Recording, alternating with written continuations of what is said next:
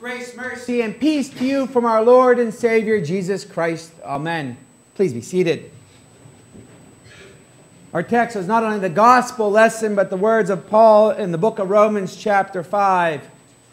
We have peace with God through our Lord Jesus Christ.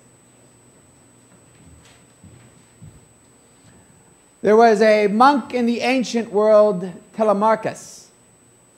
He was a country monk. And just like today, country folk and city folk can be a little different.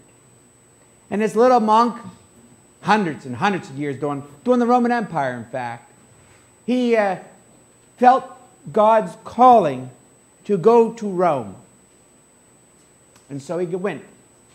He went to the big city, as it were. And he shows up in Rome, and the whole city is alive, buzzing something exciting is happening. For that day, they were going to have in the Colosseum the gladiators. They were going to fight. And everyone was excited, the circus as it was. And the Colosseum, if you don't know, held about 80,000 people. So the Romans knew how to have a sporting event, as it were. And the whole community was excited in Rome. And, and this little monk uh, goes into the Colosseum. And I mean little in the sense that he was little.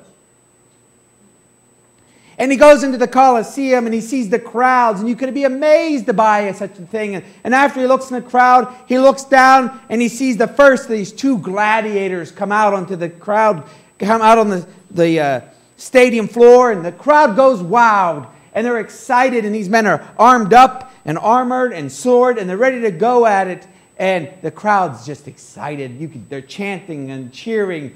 It's like any other sporting event that you would know today at a Coliseum.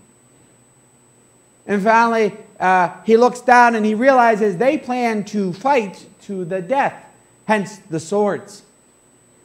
And this little monk goes to the edge and he screams at them, but they don't hear him at all. So he jumps onto the field in the middle of the stadium in front of 80,000 people, and he walks out and he stands between these two behemoth men, and he says, For the love of Jesus, stop!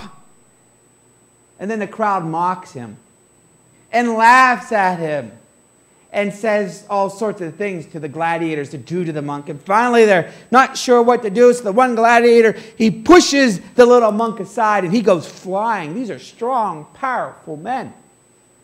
And then the, uh, the monk gets back up and he runs and he puts gets between them again. he says, For the love of Jesus, stop. And the crowd starts chanting, kind of jokingly, I'm sure, you know, run, it, run your sword through the monk, get him out of there. And all it's finally the as the, the gladiators, they don't know what to do. So one gladiator takes his sword and he just puts it right into that monk's stomach. And he falls to the ground. And he gets back up, and through his robes, it would look like kind of like my robes. You can see the blood pulling. And he pulls out his arms and he says, For the love of Jesus, stop. And then 80,000 people were silent.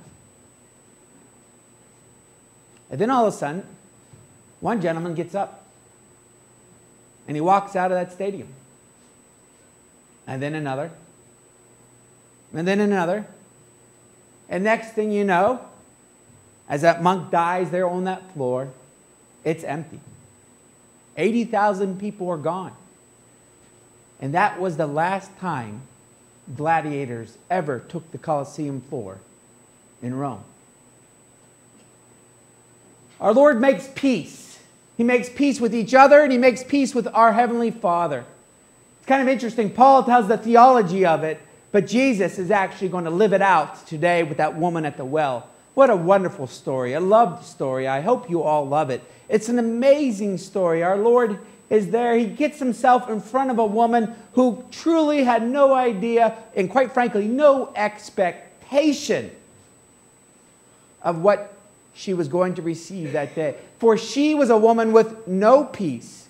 In fact, that woman was at war. She was at war with her community. She was at war with men. She was at war with herself, and she was at war with God. That was a woman who did not have peace. Middle of the day, she walks to the well to get her water. I think you know if you don't remember the story well, but why? The women in the community do not like her at all. Maybe she doesn't like them either. Maybe she's been shunned. Maybe she's been pushed out. Maybe she's just sick of being told how wicked she is. All right. So be it. And then for men, five husbands and the one that she's living with. Now, I bless you all to have wonderful marriages, and one ends, you start another one. But at the fifth one, when you come into Pastor Schmidt's office, we're going to have a very long conversation. and she's a Samaritan. The Samaritans were, the Jewish people made it very clear to the Samaritans God hates you. She's at war. And then Jesus comes and he sits down there and he asks for a simple thing a glass of water. And in the midst of that, they're going to have a long conversation about water and drinking, eternal life, and spiritually. And it keeps building up from the basics of life to the basics of God. And she says she recognizes that Jesus is a prophet, so she's going to have a theological debate. I love theological debates with Jesus in the Bible, by the way. He always wins. He's that good at it. And so he debates with the woman, and finally he says, You worship the God you don't even know. And I won't go into the whole history of the Samaritans, but they are not of the people of Abraham. And he says, We worship the God that we do know, but everything is changing. And the fact that Jesus is talking to her is proof of it. God is going to make peace with his people throughout the world Samaritans, Jewish people, Africans, Romans, etc. And outwards, and outwards. And then for all of that, she asked the most simple of questions, a question that, quite frankly, everyone in Israel at the time is asking, deep down under their breath Are you the Messiah? Are you the Christ? Are you the one that's going to save us? And he gives her something he gives so few people. He answers the question Yes, he is. He has come to make peace between that woman and God. He has come to make peace between you and God and me and God. And once that peace is established, our peace between the two of us will continue on. I actually, this Sunday was, before all this was happening, was going to do the uh, giving of the peace that everyone gives to one another, that historic practice. I won't do it. I'm not that dangerous of a human being. But that's where it comes from. One final story. In 1555, there was a Christian by the last name of Ridley. And if you don't know much about history in the 1550s, 60s, and so on, the Christians were kind of killing each other. Talk about no peace. And Ridley was going to go to be burnt at the stake for preaching the gospel. And his brother showed up at the jail the night before to be with him, to comfort him, to make sure his brother was cared for before he would be martyred the next day. And they, uh, as they sat in a jail cell, Ridley turned to his brother and said, You can go home. I'm tired. I'd like to get a good night's sleep.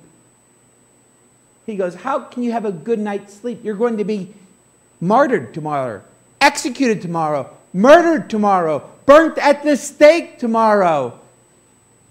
And he looks at him, his brother, and goes, I'm going to be with Christ tomorrow. We have peace with God. We're not at war with Him. In fact, it's deeper than that. We are now God's family, His children. Jesus calls you His brothers and sisters, He calls you His bride. He has made peace with you. Thanks be to God, He has. Because that woman at the well, and I didn't read the rest of the story, after she was made peace with Christ, her world changed. And it was for the better. Your world has changed. It is for the better. You have been made peace with God, for Jesus has done it. Amen. The peace of God, which passes all understanding, keep your hearts and your minds on Christ Jesus. Amen.